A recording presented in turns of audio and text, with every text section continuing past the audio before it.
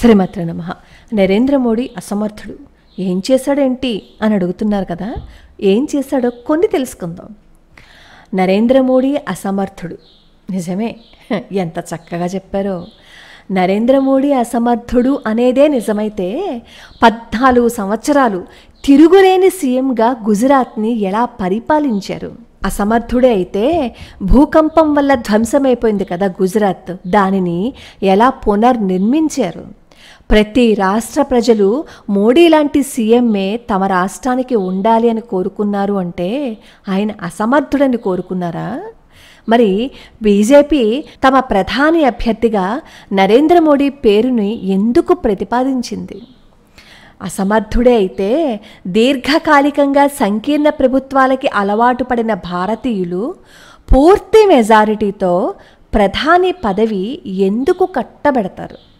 నిరంతరము భారతదేశంలో ఎప్పుడు చూసిన ఉగ్రదాడులు బాంబు పేలుళ్ళే అలాంటి బాంబు పేలుళ్ళకు నిలయమైన భారత్ను వాటి నుంచి ఎలా కాపాడుతున్నారు?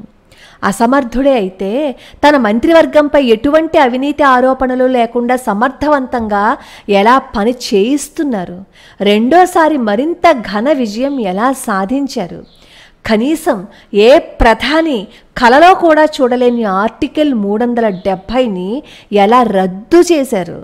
అసలు ఎవరైనా రద్దు చేయగలిగారా? అసమర్థుడైతే ఏ భారత ప్రధాని కన్నెత్తి చూడని త్రిపుల్ తలాక్ను ఏ విధంగా రద్దు చేశారు? అసమర్థుడే అయితే తనకి ఏ దేశమైతే వీసా నిరాకరించిందో ఆ దేశం చేతే రెడ్ కార్పెట్తో స్వాగతం ఎలా పొందుతారు? ప్రపంచంలో అతిపెద్ద దేశమైన చైనా ఘీంకారాలు చివరికి గత ప్రధాని హయాంలో ఉడత ఊపులు ఊపిన నేపాలు శ్రీలంక లాంటి సరిహద్దు దేశాలని ఎలా దారికి తీసుకొస్తారు?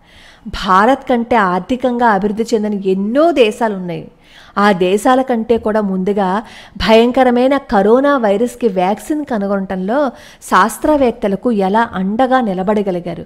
ఇప్పుడంటే కరోనా వైరస్కి వేసుకున్న వ్యాక్సిన్ వల్ల అదొస్తోంది ఇదొస్తోంది అని చెప్పి మాట్లాడుతున్నారు కానీ అప్పుడున్న పరిస్థితుల్లో కరోనా వైరస్ నుంచి బయటపడాలి అంటే ఏం చెయ్యాలో తెలియక అసలు కరోనా వైరస్కి మీరు వ్యాక్సిన్ వేయించుకుంటే అది మంచిది కాదు అన్న ప్రియాంక గాంధీ రాహుల్ గాంధీలే చీకట్లో వెళ్ళి వ్యాక్సిన్లు వేయించుకుని వచ్చారు కదా ఆ రోజు నిష్ఠూరాలు ఆడారు కదా నరేంద్ర మోడీ గారి మీద.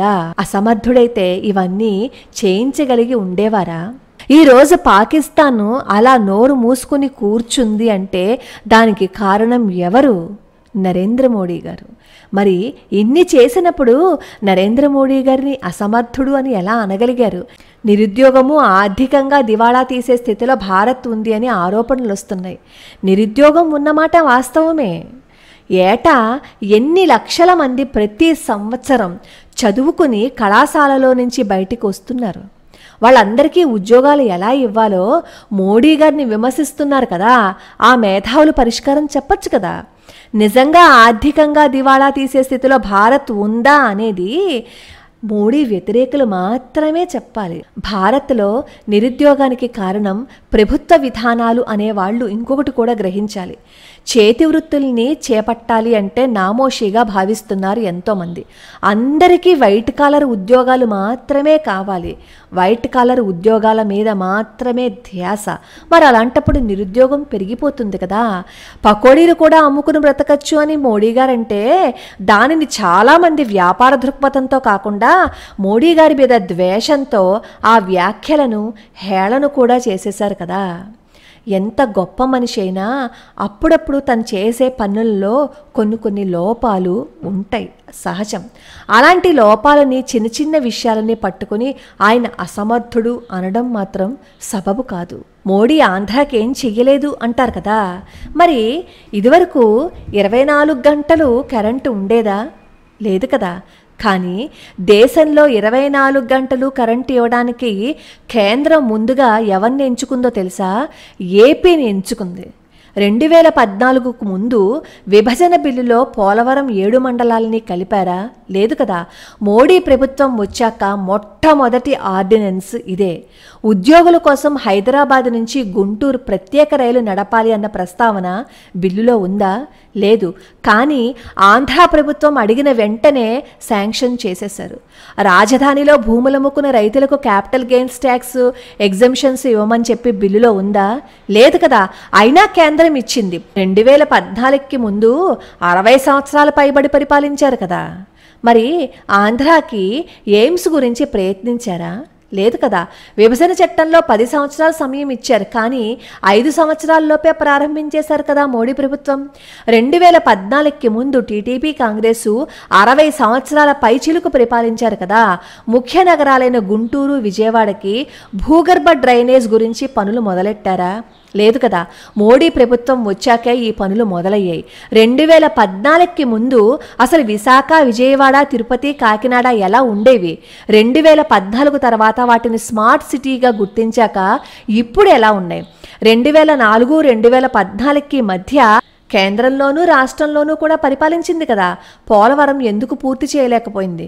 రెండు వేల పద్నాలుగుకి ముందు వరకు ఎన్ని నిధులు వచ్చాయి? ఐఐఎం ఐఐటి ట్రిపుల్ ఐటి గిరిజన university marine institute fashion design institutes ఇలా సుమారు ఇరవై విద్యా సంస్థలు కొన్ని విభజన బిల్లుల్లో లేనివి కూడా రెండు వేల పద్నాలుగుకి ముందు ఉండేవా? లేవు కదా. రెండు వేల పద్నాలుగు తర్వాత మాత్రమే వచ్చాయి కదా. వీధుల్లో రెండు వేల పద్నాలుగుకి ముందు ఎల్ఈడి దీపాలు ఉండేవా? లేవు. మోడీ ప్రభుత్వం వచ్చాకే అవి వచ్చాయి. తిరుపతి విజయవాడ రాజమండ్రి విమానాశ్రయాలు రెండు వేల పద్నాలుగుకి ముందు ఎలా ఉండేవి? ఎన్ని విమానాలు ఉండేవి? రెండు వేల పద్నాలుగు తర్వాత ఇప్పుడు ఎలా ఉన్నాయి? కోటిపల్లి నరసాపురం రైల్వే స్టేషను అరవై సంవత్సరాల బట్టి పెండింగ్లో ఉంది. మోడీ వచ్చాక పనులు మొదలవలేదా? యాభై శాతం పైగా పనులు పూర్తయ్యాయి. పిఠాపురం కాకినాడ రోడ్డు వెడల్పు కార్యక్రమం దశాబ్దాల బట్టి పెండింగ్లో ఉంది.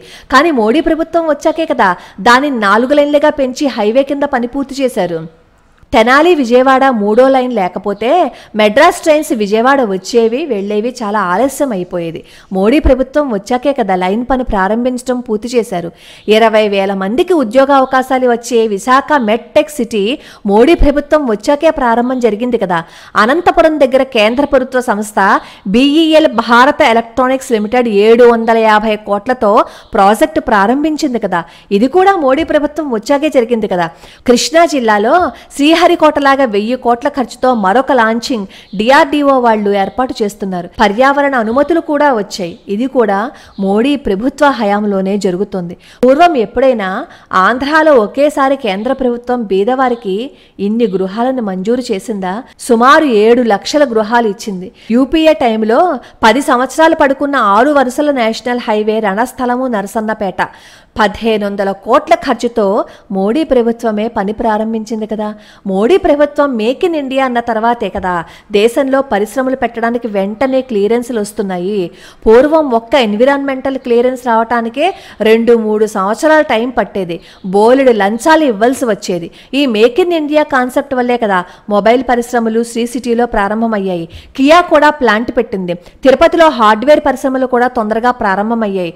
క్రూడ్ ఆయిల్ స్టోరేజ్ వసతులు రాష్ట్రంలో మూడు చోట్ల ఏర్పాటయ్యాయి. డెబ్బై ఏళ్ళు కాంగ్రెసు టీడీపీ పదమూడు జిల్లాల అధికారాన్ని అనుభవించేసిన తర్వాత ఇప్పుడు సడన్గా ఆంధ్ర వెనుకబడతనం గుర్తుకొచ్చిందా? రాష్ట్రం విడిపోక ముందే పోలవరం ముప్పై సంవత్సరాల ముందు అనుకున్నారు కదా ఎందుకు పూర్తి చేయలేదు? రెండు వేల పద్నాలుగులో రాష్ట్రం విడిపోతుంది అప్పుడు బీజేపీ వస్తుంది నిధులు ఇస్తుందని ఆపేశారా? Railway zone Kadapa steel plant తీసుకోండి రాష్ట్రం విడిపోవటానికి వాటికి ఏంటి సంబంధం? ఇప్పుడు విశాఖ రైల్వే జోన్ కూడా వచ్చింది. వచ్చింది అని ఆనందించకుండా దానిలో కూడా లోపాలు వెతుకుతోంది. విమర్శించే ముందు డెబ్బై సంవత్సరాలుగా మనల్ని పాలించారు కదా టీడీపీ కాంగ్రెస్ ఎంపీలు. ఆ ఎంపీలు ఎమ్మెల్యేల చొక్కాల పట్టుకుని అడిగి మా పదమూడు జిల్లాల్ని ఎందుకు పట్టించుకోలేదు? ఇన్ని సంవత్సరాల నుంచి అని చెప్పి అడిగితే అప్పుడు బాగుంటుంది. ఈ కొన్ని వివరాలకే అబ్బా ఇన్ని చేశారా అని అనిపించింది కదా. ఇంకా చాలా ఉన్నాయి. అవన్నీ వివరాలతో సహా ఇందాక నేను ఉదహరించిన ఆ లిస్టులో ఉన్నవి కూడా ఎంతెంత ఖర్చు అయ్యాయి దేనికి ఎంత సమయం పట్టింది దేనికి ఎంత సమయం తీసుకుంది కేంద్ర ప్రభుత్వం ఎంత డబ్బులు ఇచ్చింది అవన్నీ కూడా నేను వివరంగానే చెప్తాను. అయితే మోడీ మీద ఆంధ్ర ప్రజలకు ద్వేషం రెచ్చగొట్టాలనే దురుద్దేశంతో కొంతమంది పార్టీలు కొన్ని తెలుగు మీడియా సంస్థలు ఈ వివరాలన్నీ మీడియాలో ఎక్కువగా ప్రచారం కాకుండా చూసుకుని మోడీ ఆంధ్రాకి ఏమీ ఇవ్వలేదు అనే ప్రచారాన్ని బాగా హైలైట్ చేసేసాయి. తిరుపతి ఐఐటి ఎవరిచ్చారు? Mangalagiri AIIMS Tadepalligudem NIT Tirupati IISER చిత్తూరులో సీసీటీలో triple IT Vijayawada CIPET Visakhapatnam MSME technology centre కర్నూలులో ట్రిపుల్ ఐటీడీఎం విశాఖపట్నంలో ఐఐఎం తిరుపతిలో ఐసిఐఈ ఇలాగే అమరావతిలో ఎన్ఐడి అంటే national institute of design of Andhra Pradesh. ఇది కూడా విభజన చట్టంలో లేదే. గుజరాత్లో మొదటి సంస్థ ఉంటే యాభై సంవత్సరాల తర్వాత రెండోది దేశంలోనే అతి పెద్దది భారత ప్రభుత్వం కొత్త నేషనల్ డిజైన్ పాలసీకి అనుగుణంగా దేశంలో ఏర్పాటు చేసిన మొట్టమొదటి ఎన్ఐడి సంస్థ ఇది. అలాగే కనకదుర్గ ఫ్లైఓవర్. దీనికి మొత్తం ఐదు వందల ఒక్క కోటి అయింది. అయితే అందులో నూట ముప్పై కోట్లు రాష్ట్ర ప్రభుత్వం పెట్టుకుంటే మరి మిగతాది ఎవరిచ్చారు? సొంతంగా విరాళాలు సేకరించి కట్టారా? మిగతాది కేంద్ర ప్రభుత్వం ఇచ్చింది. ఇవన్నీ మర్చిపోయి ఇవన్నీ పక్కన పెట్టేసి నరేంద్ర మోడీ ఆంధ్రప్రదేశ్కి ఏం చేశారు అని అడుగుతున్నారు కదా. ఇప్పుడు అర్థమవుతోందా? నేను ఇకపై కూడా ఇంకొక ఎపిసోడ్లో చెప్తాను. ఒక్కొక్క చోట ఏ సంస్థని పెట్టారు ఎవరి కోసం పెట్టారు ఎంత డబ్బులతో పెట్టారు ఇంకా చాలా ఉన్నాయి. కానీ వీడియో ఇప్పటికే లెంత్ ఎక్కువైపోవటం వల్ల ఇంతటితో ఆపేశాను. ఇంకా కొన్ని తర్వాత తెలుసుకుందాం. లోకా సమస్త సుఖినో భవంతు సర్వే జనా సుఖినో భవంతు.